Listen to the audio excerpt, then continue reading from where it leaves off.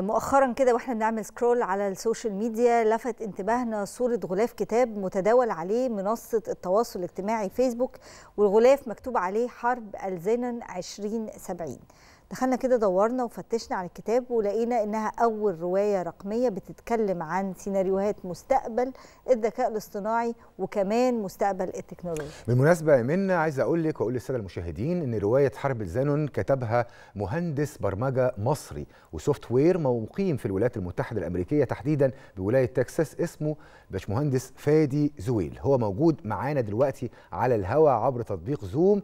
بنقول لك صباح الخير. صباح الخير مش عارف مع فرق التوقيت صباح الخير ولا لأ؟ لا دلوقتي الساعة midnight يعني midnight يبقى مساء الخير. بن بنبارك لك على صباح الخير عليكم وشكرا على استضافتي. بنبارك لك طبعا على الرواية حرب الزينون 2070 كده هنروح معاك في رحلة للمستقبل البعيد قوي 2070 رواية علمية جديدة ومختلفة. بداية حابين نعرف منك إيه القصة وراء الرواية دي وإيه معنى أي حد هيسمع كده؟ إيه معنى حرب الزانون 2070 تمام. أنا بدأت أكتب الرواية في 2022 وكان الغرض الأساسي إن أنا أسلط الضوء على التكنولوجيا الحديثة إزاي هي بتغير الحياة الاجتماعية في مجتمعنا الحالي. يعني لو ضربنا مثل كده شوف التليفون أو التليفون المحمول أو ال mobile phone أول ما ظهر في سنة 97 تقريبا كان الاستخدام ليه إن أنت تبعت message أو تكلم. دلوقتي شوف التليفون وصل بينا لغاية فين. أنت تقدر تستخدمه تعمل بيه financial transaction حاجات مالية تقدر تعمل بيه streaming ل videos تسمع موسيقى تتفرج على البرنامج بتاعك من على التليفون. فالتكنولوجيا التكنولوجيا اتغيرت وتسارعت بشكل مذهل.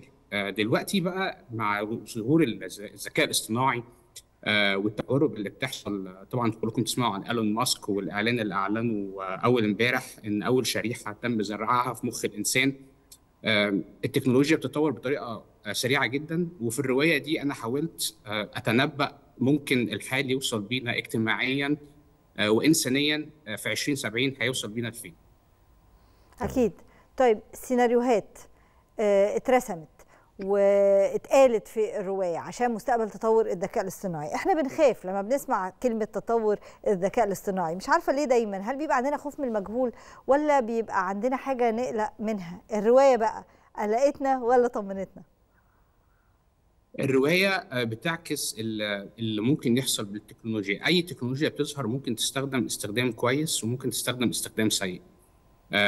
تاني هرجع للإعلان بتاع إيلون ماسك اللي أعلنه أول إمبارح على الشريحة ديت. الشريحة من أحد التطبيقات المهمة ليها جدا إن هي تقدر تتوصل مخ الإنسان مع طرف صناعي يعني الناس اللي فقدت أطرافها في الحرب أو في حوادث.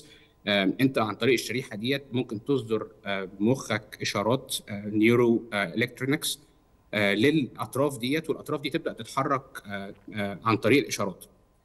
بس في ناس بتتوقع إن مع الوقت الناس هتبدأ تستخدم ال neural networks ديت في إن هي تعلم الإنسان الآلي يتصرف زينا. فهيبقى في جيل من ال robots أو الإنسان الآلي أو الآليين اللي هم ممكن يتصرفوا بشكل مشابه جدا أو يحاكوا الإنسان الطبيعي. وهو ده اللي أنا بحاول أرسمه في في الرواية بتاعتي. تخيل إن في ظهرت التكنولوجيا ديت أو تقدمت بحيث إن بقى في في حياتنا انسان آلي تقدر تتعامل معاه تماما. فتقدر يبقى صاحبك تقدر تستخدمه إن هو يشتغل مكانك. فالناس ما تضطرش إنها تشتغل أو إن هي تبقى في حاجة إلى فلوس لأن الإنسان الآلي ده هيعمل لك كل حاجة. ومع التطور التكنولوجي دوت العلماء بيحاولوا إن هم يعملوا حاجة شبيهة بالجنة اللي الديانات بشرت بيها الإنسان بعد الموت. في حاجة اسمها جنة ونار. العلماء دول بدأ عن طريق استخدام التكنولوجيا الحديثة بدأوا ي simulate أو يحاكوا وجود الجنه جميل. آه فالزانون التعبير الإغريقي ده معناه الأجنبي أو المختلف أو الشيء المختلف عن الحاجة المعتادة عليها. آه وهم جيل من الروبوتس تم تصنيعهم علشان خدمة الإنسان. الفكرة فادي يعني أغلب كتاب الخيال العلمي أو الروايات العلمية والخيالية الخيالات دي بتتحقق في المستقبل. يعني دايما بيبقى الكاتب والمبدع عنده كده قدرة على التنبؤ ويحصل يعني ما يتنبأ به من خلال كتابته الروائية في الواقع بشكل حقيقي. عايز أسألك شوية في الرواية نفسها. أنت اتكلمت إنه 2070 وده تاريخ بعيد شوية بتتكلم عن صراعات هتحصل وحالة من الاستقطاب البشري والإنساني والعالم هيتقسم إلى طائفتين أو فريقين. طائفة مميزة جينيا عندها ارتقاء جيني أكتر بتنشئ مجتمع مثالي. أنت سميته أو أطلقت عليه اسم الجنة. حابين نعرف إيه تفاصيل أو سيناريوهات هذا المجتمع المثالي بعين المبدع والروائي؟ تمام.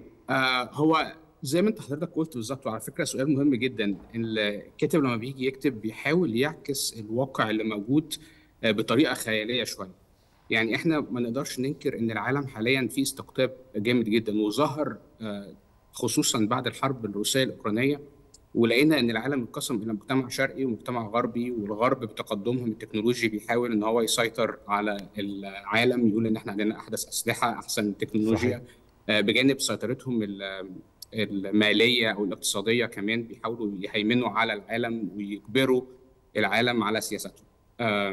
وفي نفس الوقت في المجتمع الشرقي اللي هو بيحاول يتكاتف ويصد ال ال الهيمنة دي. فأنا حاولت أتخيل إن تخيل إن في 2070 هيحصل استقطاب شديد وهيبدأ العالم ينقسم بس مش على أساس سياسي أو جغرافي هيبقى على أساس جيني. فهيظهر مجموعة من الناس متميزة عندها قوة العلم والتكنولوجيا المتقدمه وفي ناس هتفضل موجودة يعني في مراحل التخلف بتاعتها نتيجة لأن هم جيناتهم فيها جينات قاصرة أو معيبة يعني. بس مش هييأسوا وهيفضلوا يقاوموا التمييز العنصري ما بين الناس المتميزة جينيا والناس اللي هي عندها جينات معيبة. فهل أنا بحاول أسأل السؤال هل الناس اللي بتحاول تحاكي الجنة ديت أو المجتمع الجنة اللي هو فيه كل حاجة بتحصل بمجرد إن أنت بتتمناه ومفيش احتياج لإن أنت تشتغل أو إن أنت تبذل مجهود علشان تأمن رزقك أو شغلك هل المجتمع ده هيكون سعيد؟ فبدأت أزوم عليه شوية أو أركز هل إيه النسيج بتاع المجتمع ده اجتماعيا ثقافيا المشاكل اللي بتقابله. أنا شخصيا كفادي مقتنع تماما إن ما فيش حاجة اسمها مجتمع مثالي. كل مجتمع فيه مميزات وعيوب جميل. آه وحتى سلطت الموضوع دوت في كتابي رحلاتي مع أوبر 22 رحلة حول العالم. آه وهو عبارة عن رحلات من بلدان مختلفة. آه في وقت ما كنت بسافر آه بلدان في قارات مختلفة. وأبدأ أتكلم مع سواقين أوبر على الحضارات أو الثقافات المحلية والمشاكل اللي بتقابلها. وفي ملخص الكتاب بقول إن كل مكان في العالم فيه مميزات وفيه عيوب والشاطر هو اللي يقدر ياخد مميزات المكان ومش بس يقعد يركز على العيوب. ونفس الحكاية نقلتها في مجتمع الجنة لا طلعت إن في مشاكل وعيوب وإن الإنسان بطبيعته ربنا خلقه بيحاول إن هو يتغلب عن المشاكل. يعني مفيش حياة دايما بتبقى خالية من المشاكل. إحنا إحنا wired أو اتخلقنا أو تركبنا صحيح. علشان نتغلب عن المشاكل. طيب الذكاء الاصطناعي متخيلين إن هو اللي هيقود البشر في الفترة اللي جاية؟ هو اللي هيوجههم في المستقبل؟ حضرتك بتتكلم عن تصنيع لفئات من البشر أو تصنيع ل robots وإحنا لسه حضرتك كنت برضو بتتكلم عن إيلون ماسك وإزاي بيتكلم عن شرائح ممكن تتزرع في جسم الإنسان عشان تقدر تبعت يعني signals واشارات للأطراف. إحنا شايفين الذكاء الاصطناعي هو اللي سايق زي ما بنقول باللغة الدارجة. هو الذكاء الاصطناعي اللي صنعه في الآخر واحد مبرمج هو اللي بيحط الأساس أو ال foundation فهو الذكاء الاصطناعي ممكن يتطور وممكن يحاكي سلوك الإنسان. بس هو الخوف من إن الناس اللي بتصنع البرامج أو ال methods اللي بيستخدمها الذكاء الاصطناعي هي اللي تحاول تسيطر على الناس. عارفة عاملة زي ال social media أو الميديا بشكل عام. أنت بتحاول تدي رسائل معينة للمجتمع اللي أنت فيه والرسائل دي ممكن تكون صحيحة أو مشوشة بس أنت بتحاول يعني الميديا طول عمرها بتستخدم إن هي توجه الناس في اتجاهات معينة. الذكاء الاصطناعي ممكن يستخدم نفس الاتجاه برضه فاهماني؟ تمام. طب باشمهندس فادي زي ما ذكرت من شوية يعني بدأ ملامح الروايه تتحقق على أرض الواقع. يعني إيلون ماسك رئيس مجلس إدارة شركة تسلا ومالك منصة إكس بيتكلم على زي ما قلت لنا من شوية إنه في أبحاث بت بت بتحط شرائح أو وصلت إلى تركيب شريحة في عقل الإنسان أو زرع أول شريحة إلكترونية في دماغ الإنسان. آه، أنت شايف إلى أي مدى آه، آه، الفترة اللي جاية ممكن الواقع يسبق الخيال وتتحقق حاجات كتيرة جدا؟ وسؤالي كمان معلش التاني يعني أي كاتب بيحب يوصل لأكبر عدد من الناس والجمهور وال- وال- ومتذوقين الأدب يعني شايف إلى أي مدى إحنا عندنا في العالم العربي وفي مصر تحديدا فكرة التواصل مع أدب الخيال العلمي أو بنحب نقرأ الخيال العلمي؟ تمام. آه، بالنسبة لسؤالك الأول آه، التطبيق التكنولوجيا بتتسارع بمعدل آه، كبير جدا الفترة الأخيرة دي زي مثلا المثال اللي أنا ضربته على التليفون المحمول في العشرين سنة آه، ظهرت تطبيقات كتيرة جدا ما كانش حد أبدا يتخيل إن هو ممكن يشتري ويبيع عن طريق التليفون. صحيح. آه، الذكاء الاصطناعي نفس الحكاية برضو دلوقتي في وظائف مهددة إن ممكن تتعمل أو يحصل لها automation عن طريق الذكاء الاصطناعي. وأنا شخصيا بلمس الموضوع دوت هنا في أمريكا كتير إن في شغلانات دلوقتي بدأت يستخدموا الذكاء الاصطناعي فيها. آه، بس دي برضو بتخلق فرص عمل جديدة لأن هم بيحتاجوا ناس يشتغل تشتغل في إن هي آه، تنمي آه، مواضيع أو تشتغل في applications جديدة أو تطبيقات جديدة تستخدم الذكاء الاصطناعي. فطبعا الفترة اللي جاية التسارع ده هيحصل إن في وظائف هتنتهي في وظائف جديدة هتظهر آه، الناس اللي هتقدر cope with التقدم دوت أو التسارع دوت الناس اللي هي هتقدر آه، بيقولوا اللي هي تتأقلم مع الموضوع دوت بإن هي تغير ال skill sets أو تغير المواهب المهارات.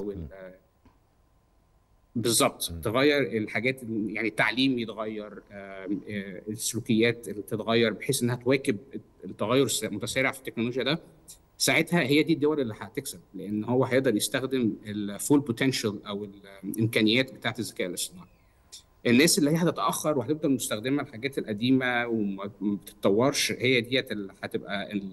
هنا بقى ب reflect على القصة أو بعكس القصة بتاعتي. أنا قلت جينيا بس هنا في تكنولوجيا. الناس اللي هتبقى متأخرة تكنولوجيا هي هتبقى آه،. مش قادرة تواكب التسارع التكنولوجي دوت وهتفضل طول عمرها معتمدة على الناس المتقدمة تكنولوجيا. آه، أنا هديك مثال بسيط جدا. أنت أي مكالمة تليفون بتعملها دلوقتي آه، الشركات الكبيرة زي مايكروسوفت أو أوراكل أو أبل بياخدوا جزء من حضرتك من الفلوس اللي أنت بتدفعها في ثمن الفاتورة أو الكارت اللي أنت بتشحن بيه الموبايل بتاعك. مجرد إن أنت بتستخدم systems الناس دي صنعتها أو عملتها software هم عملوها فتخيل أنت في مصر آه، بتتكلم في التليفون مع صديقك لكن مايكروسوفت عمالة بتسحب منك فلوس لأن هي صنعت جزء من ال software اللي أنت بتستخدمه. جميل. فعشان كده إحنا لازم نواكب التكنولوجيا ديت ولازم آه نامبريس يعني إحنا جميل. ما ينفعش نعاديها يعني ما ينفعش إن إحنا نقول آه لا إحنا مش هن جميل طب أخيرا. متابعة الرواية شايفها إزاي وهل إحنا مهتمين بالجانب ده بجانب أدب الخيال أو روايات الخيال العلمي في مصر أو في العالم العربي وأنت عايش بعيد في الولايات المتحدة الأمريكية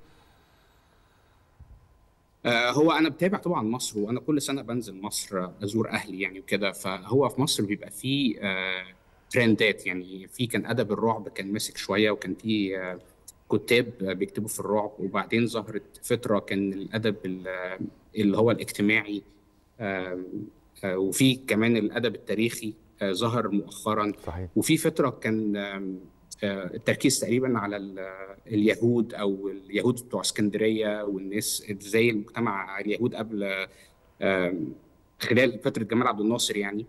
وظهرت روايات كتير قوي بالقصة ديت عن حوالين المجتمع اليهودي في مصر. آه، أنا شايف أه إن في دلوقتي انتقال إلى التكنولوجيا أو التكنولوجي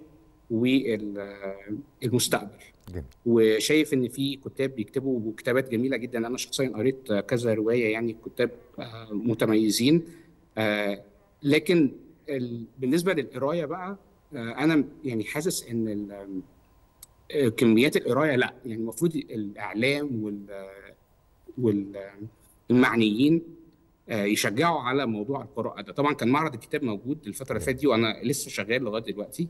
آه، هل في إقبال ولا لأ؟ أنتوا تقولوا لي يعني آه، أنتوا شايفين ان في اقبال على معرض الكتاب ولا لا؟ أنا اتمنى ان يكون أكيد أنت تقدر تقدر تحدد من. خلال ال social media من خلال أصدقائك اللي موجودين في مصر تقدر تحدد بعيدا عن ال- الأعداد اللي إحنا بنقولها. إحنا أعتقد بيبقى عندنا رسالة يومية في صباح الخير يا مصر بنتكلم فيها عن الأعداد اللي بتظهر وبنتكلم فيها عن رسائل يومية عن الندوات المختلفة وأبرز الكتب والمهتمين متابعه معرض الكتاب. وإحنا كمان هنستنى نعرف مبيعات الكتاب عندك يا باشمهندس ونقدر كمان نتكلم عليها. كل الشكر ليك المهندس فادي زويل مؤلف كتاب حرب زينن 2070 كل الشكر ليك.